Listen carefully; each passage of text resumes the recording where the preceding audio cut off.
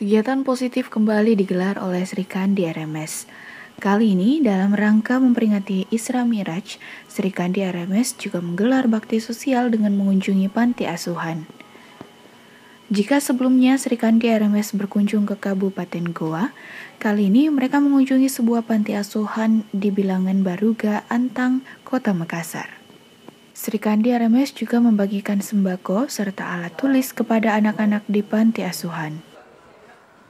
Uh, jadi kegiatan Sri Kandi RMS hari ini adalah untuk memperingati Isra Mirat. Jadi tadi kita sudah ada kegiatan di Panti Asuhan Bahagia yang berlokasi di Baru Gantang. Malam ini kami ada di flyover membagikan uh, makanan untuk adik-adik uh, saudara-saudara kami yang ada di flyover. Uh, tujuan utamanya uh, tetap kami bergerak pada gerakan kemanusiaan, berbagi kepada sesama Tak cukup sampai di situ, Sri Kandi RMS juga melanjutkan bakti sosialnya dengan membagikan makanan kepada anak-anak yang tengah berjualan di bawah jembatan flyover Jalan Urip Sumoharjo, Kota Makassar. Suasana sukacita menyelimuti kegiatan bakti sosial ini.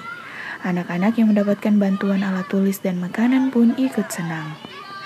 Sri Kandi RMS berharap mereka bisa terus melakukan kegiatan bakti sosial dengan memberi bantuan kepada masyarakat kurang mampu.